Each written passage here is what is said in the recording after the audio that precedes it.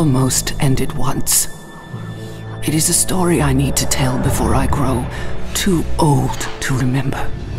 It is a story of a man, some called a curse, and others called a hero. But a man they all called Deathspank.